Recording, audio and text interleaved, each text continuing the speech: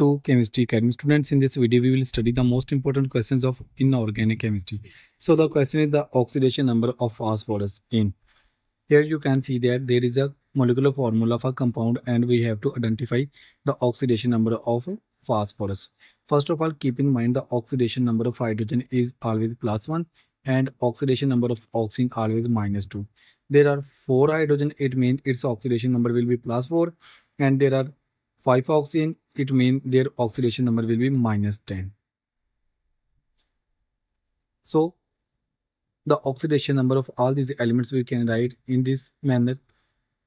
Plus 4 is the oxidation number of 4 hydrogen, 2 is the number of phosphorus and X pose oxidation number of phosphorus. Similarly, 5 into oxidation number of oxygen is equal to 0 because the sum of oxidation number of all the elements is equal to 0. So plus 4 plus 2x minus 10 is equal to 0.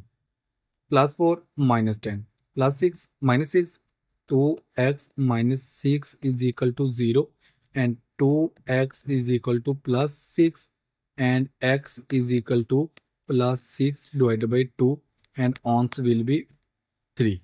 It means oxidation number of phosphorus is equal to plus 3. In this way, we can easily identify the oxidation number of phosphorus.